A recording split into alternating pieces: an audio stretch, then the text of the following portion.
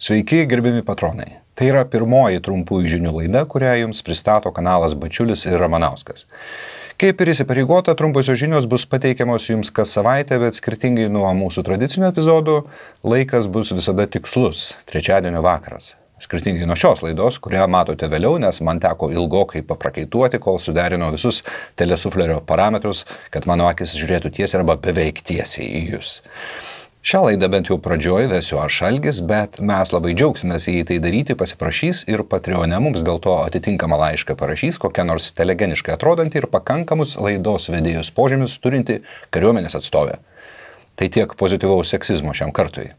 Taip, čia kaip naikintuvo kompiuteris pilotui praneša kritinius dalykus moteriškų balsų, kad pilotas nesupanikuotų, nes moteriškas balsas ramina. Prisiminkime Agnę Širinskinę, juk kiekvienas norėtų būtent jos balsų savo gyvenime ir mašinoje.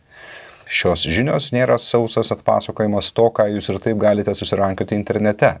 Laidos bendrautoriai buvo paprašyti parinkti žinias ir jas sisteminti pagal tai, kiek ta ar kita žinia yra svarbi Lietuvai, ar plačiau imant visam šiam krūvinajam regionui, Timotis Snaiderio pavadintam kraujo žemėmis. Pradėkim. Praėjusią savaitę Lockheed Martin ir